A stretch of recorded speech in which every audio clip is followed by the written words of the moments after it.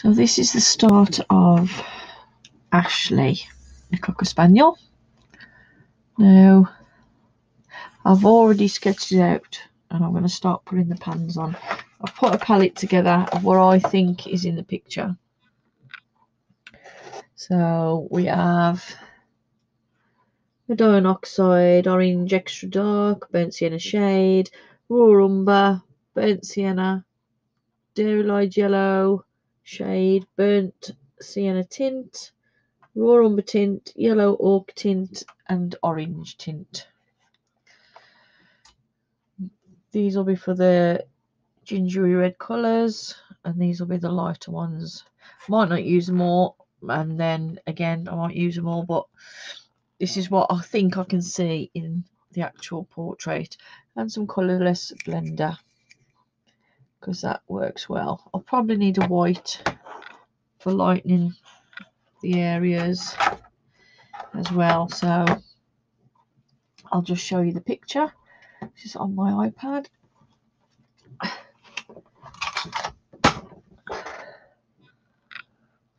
So the reflection there. So you can see there's a lot of reds in there. That's better okay. Just pop that back a minute. And then we can get some colours on and get started. I've got my usual I've just put new ones on because they don't last five minutes. So I've got the soft palette knives the square because they fill in a lot of room and this one for just adding little touches in the darker areas. So get some colourless blender on first I'm literally just gonna apply it to most of the places where I know I'll be blending the colours in with another colour. It just really makes it spread. I've always used white, but obviously with white, it sort of makes the colours milky into white and the colourless blender doesn't. It keeps the colours true, true to their actual colours, but with the beauty of being able to blend across the paper effortlessly with the colourless blender on. So obviously you can't see anything at the minute because it is colourless. Now then, so if I just get all this on around the head to start with, it's a very, very slight tint to the paper just because the paper is actually um, high white. It's Saunders Waterford. Uh, so it is slight you've got a very very it looks a bit like if you've got a titanium buff in the luminance it's as light as that onto your paper this colourless blender is so you can barely see it so the ears are really really curly so I'm not looking to put a lot of depth on there with the base layers because I've mapped out where a lot of the curls are and I need to still be able to see them with a pencil. So we shall see.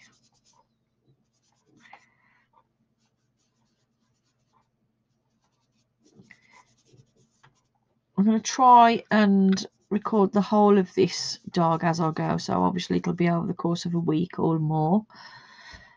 And hopefully then you'll have a step by step in real time and then I'm gonna ask for some help and try and find out how to put it all together and make it into a shorter film.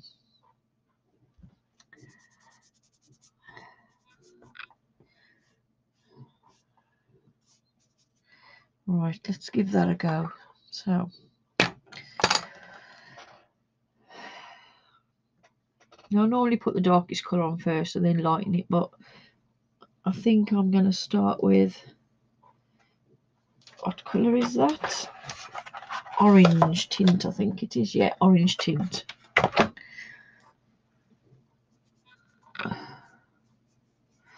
What says orange tint, but not none of these colours are ever what the name actually is. Oh, I don't think so anyway. it's quite misleading. I've also got what I call cream here, which is the yellow ochre tint. That'll be used as my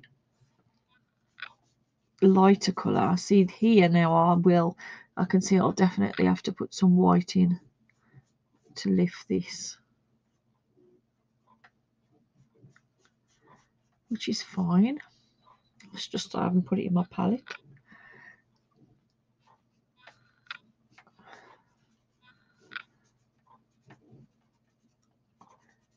might stop and start this video or do it in several several sections because for some reason my computer has a habit of crashing and once you've drawn it obviously I can't go back and start again and I am against the clock with the next two portraits there's no time for stopping and starting So yeah, it looks as if this yellow ochre is quite a good likeness. Definitely will be fine with the uh, white on the top. And then the orange tint just puts that steady red into it. Now, I'm going to stick with the lighter colours for a minute because I'm going to use the same palette to put the darker colours on. So I'll just get them down first. Now this colour is what I normally use for skin tones, which is the burnt sienna tint. Because down here on this area, it is quite light and I shall be using my indenting tool to make the hairs stick out on this one. We'll just get this base layer in.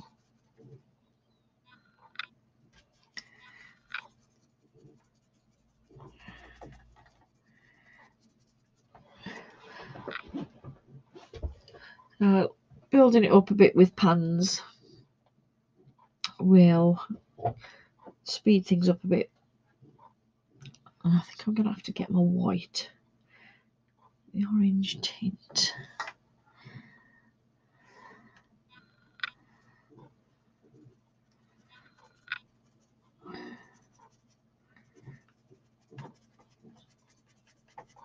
With the colourless blender, it just it smooths the paper for blending.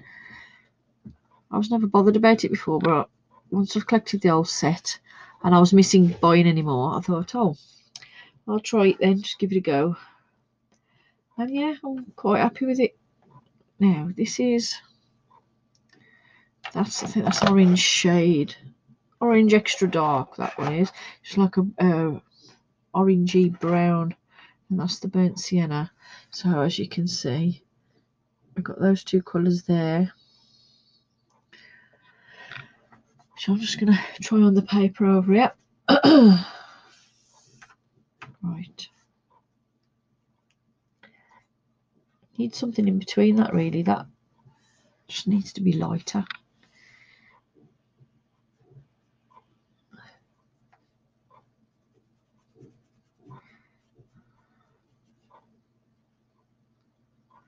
Now I'll start to lose my lines here a bit, so need to be careful.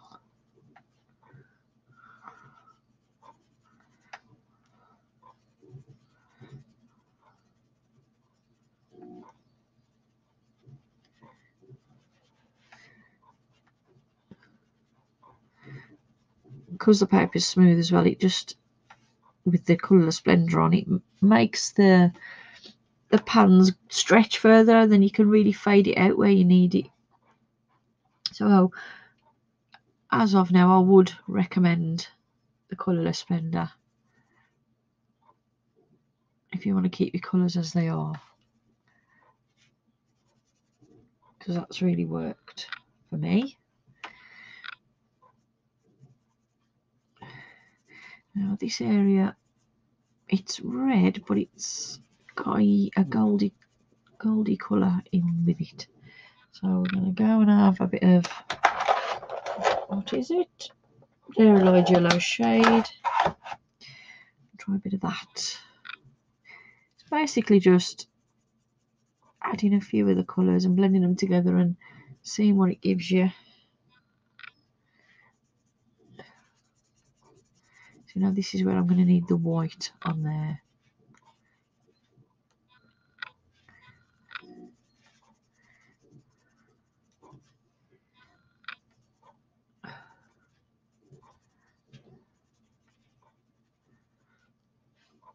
I do love using pan pastels. They're just so much fun to use. Oh, my elbow just slipped off the bar now and I've dotted it. I'll get rid of that in a minute.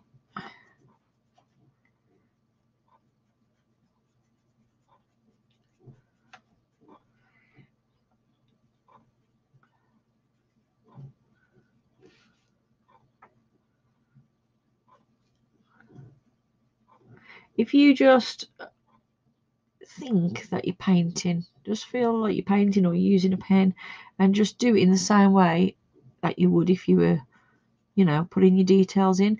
And that helps you get the hang of applying your pan pastels because I was and still do sort of slap it on and move it around a bit and then I just I don't worry about it because I rely on my pencils to do the work after.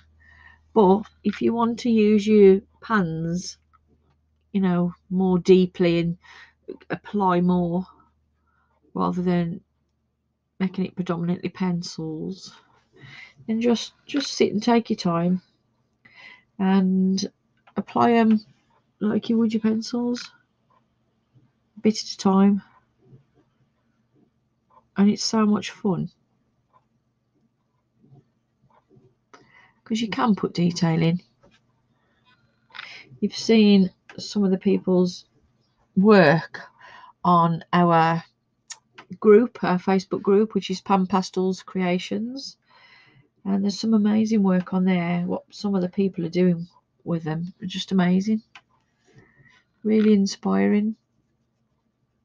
So if you want to come along and find the group on Facebook, or drop me a message if if you want the link, and I can send you the link for Pan Pastel Creations.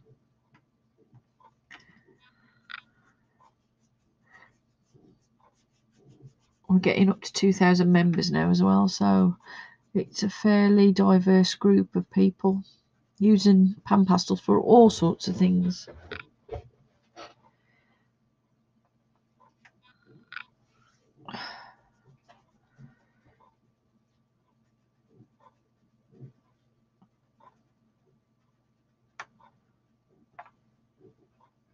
I'll keep watching the time on this video and I'll do I'll try and do half an hour, 35 minutes on each, and then I shall stop it and start again.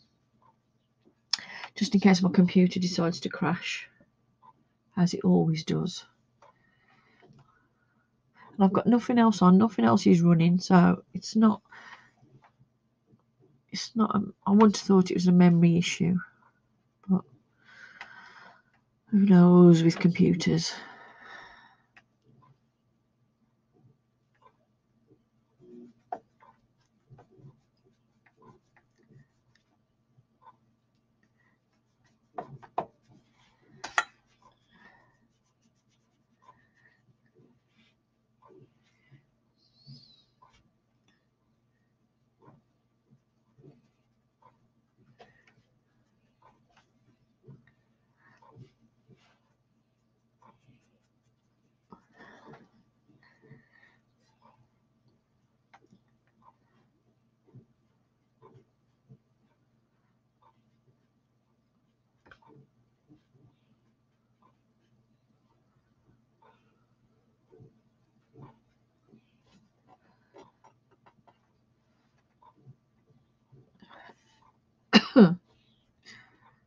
nice deeper red up here, which is the burnt sienna.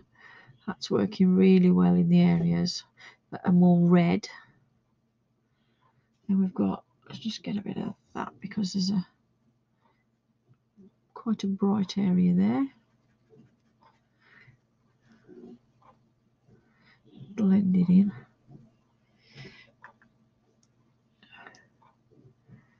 You can see from the video what colours I'm going back and dipping into onto the palette.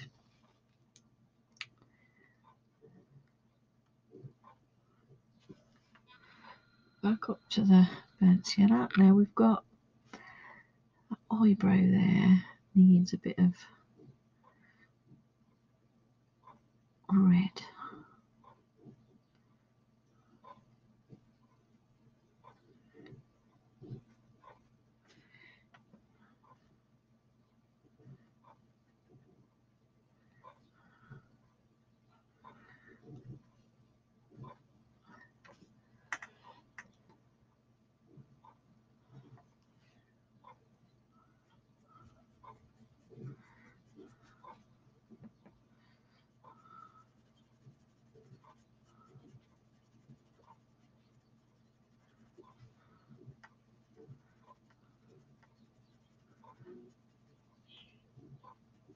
I like the square ones, the flat square ones, because you can do a larger area by rubbing the whole of the sponge on the page. Because I don't like those big, the big applicators. I've got more control with these. But then you can use the tip, either the corner for dotting, or I just I like using the edge to like create strokes, like hair strokes, and getting the direction of the fur in the right way. As you can see, it just makes the air direction obvious.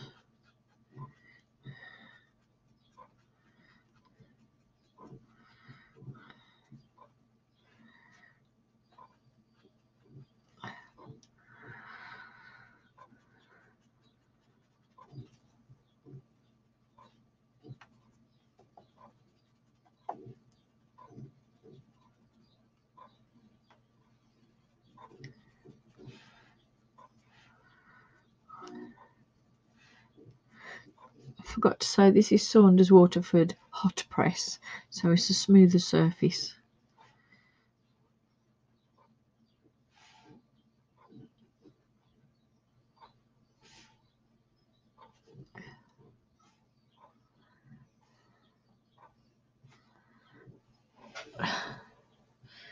Right uh,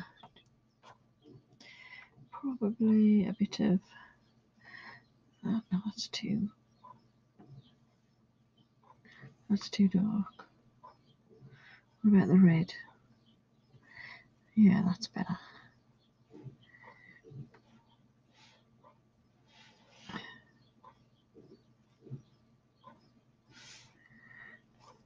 And also, if you find you've put too much on, you can always get your your eraser, put your rubber battery eraser, and just lift it off.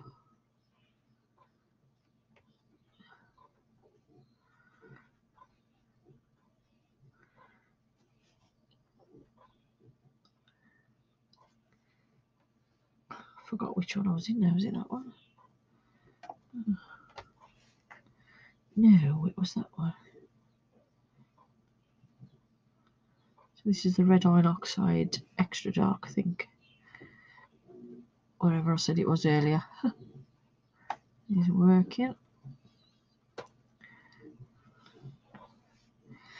colours that you think aren't really don't sound like they would be right for this or look on the surface that they wouldn't be right. You just need to try them because sometimes clearly they are.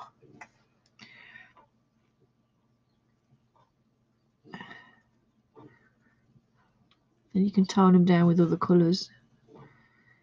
Because obviously you've never, it's hardly ever that you've ever got the exact spot on colour that you want. But then that's the beauty of blending it's nice to be able to blend the colours to what you want.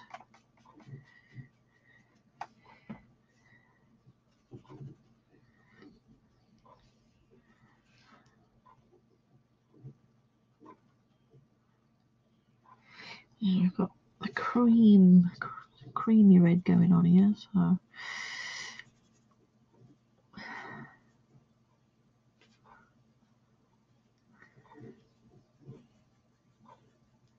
on 20 minutes now, so get the face in and we'll come back to the ears.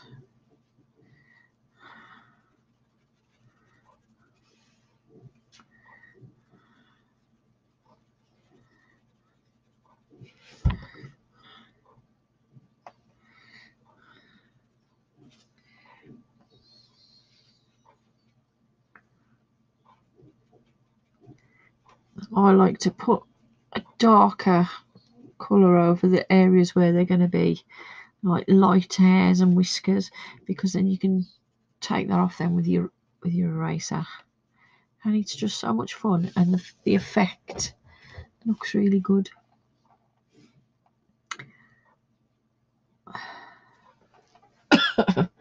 You can see she's coming to life now.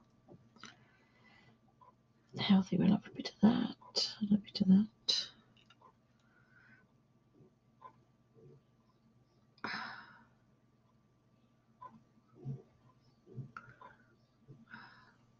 Especially on all these curly hairs here and you can just like put them back in the lighter areas with the white uh, with the rubber eraser.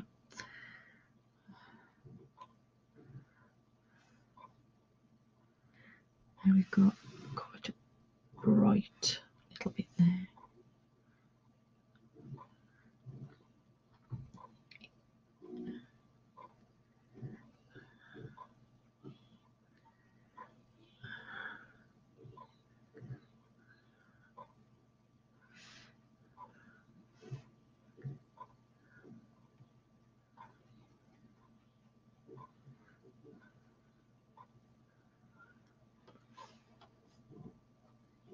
normally when I do an underpainting, I'm not so detailed and mindful of where I'm putting things because it's just an underpainting. But I really want to try with this to really use more of the pan pastels in the picture and let them be more work more and be softer.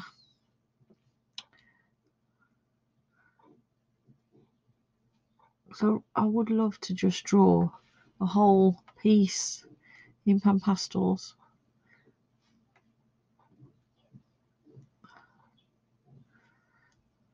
I'll note up with this one obviously because I want all the details in this one.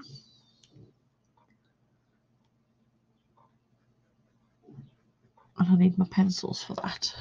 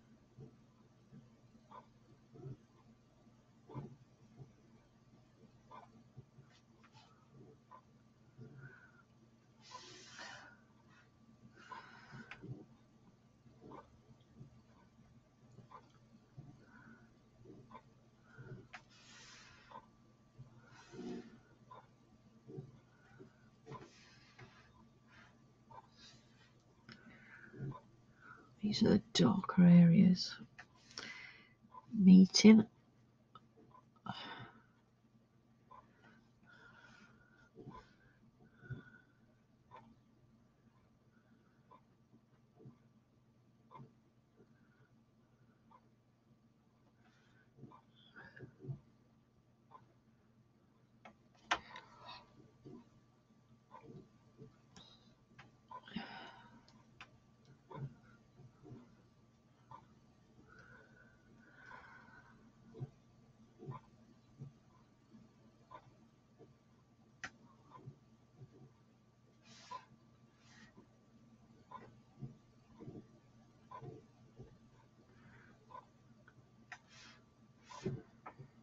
To the areas around the eyes, the darker parts. I'm going to come back into these, do the eyelids.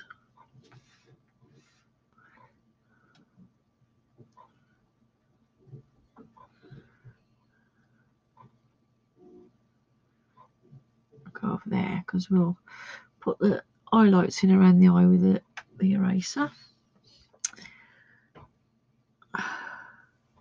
Just looking right at me, aren't you, Ashley?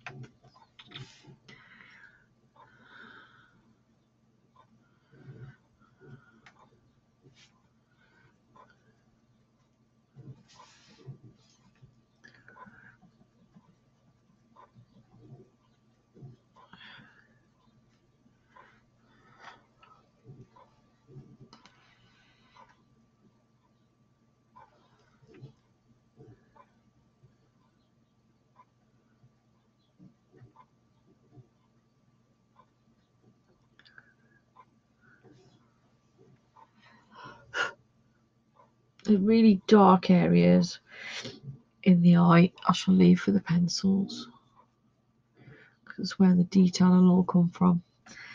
Is quite a bright area of gold. There's a Tasmanian devil. That's my husband texting. so even when he's not here, he always has to disturb me. Yes, I'm very disturbed.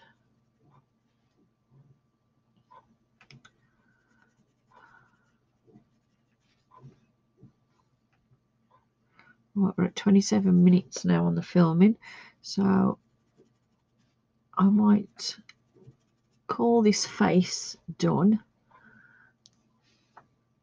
And then we can start again. And come back. Part two. So I'm just so worried the computer's gonna die on us. I don't want to take any chances. I'll get this in and then I'll come back and do the white areas that I need to do to lighten it.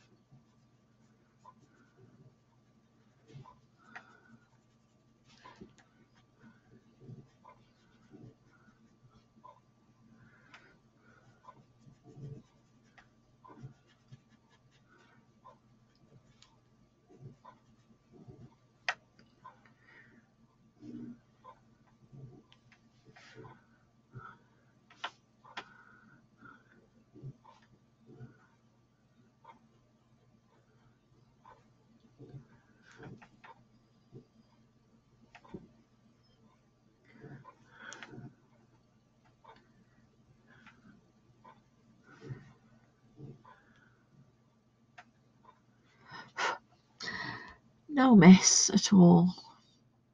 It'll work at this angle without it all just going everywhere. I just love them.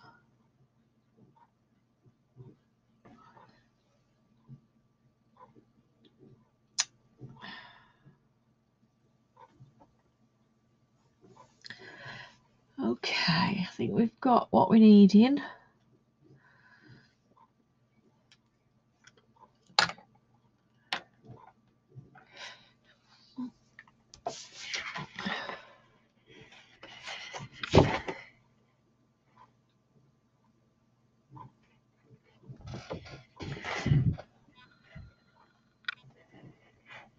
Yeah, you can see all the different contours in the face with the different shading.